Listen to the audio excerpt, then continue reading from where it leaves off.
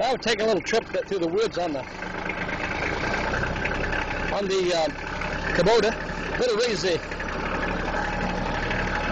the bucket up a little bit before it hits something. Ah, I left a shovel out here, didn't I? I'll have to pick that up on the way back. Ah, we surely got a higher gear, higher gear in that. Let's try this one. Yeah, there we go. That's a little better. Third gear. It's got one more gear, road gear. But we got in third. I'm trying to sell this little camper up here. It's uh, it's a 19 foot fifth wheel, believe it or not, 19 footer, and uh, it's kind of grown up here in the woods, and and uh, I got to do something with it. I got a guy coming tonight to look at. it.